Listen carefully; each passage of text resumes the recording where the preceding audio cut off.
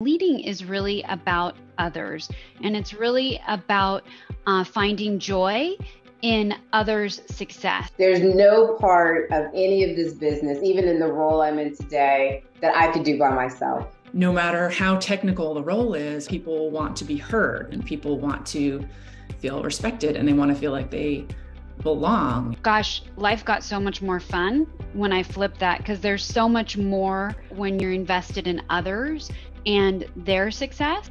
What about failure?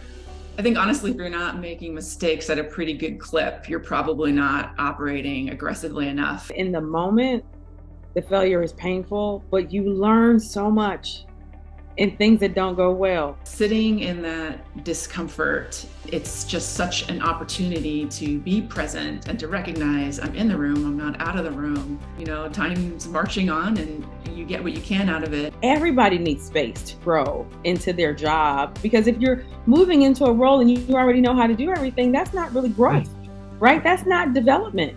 What parting words of wisdom would you give to women who are trying to find their own leadership voice. Work ethic is not debatable. Be sure you're having fun. Titles are meaningless if you don't love going to work every day. And trust your gut.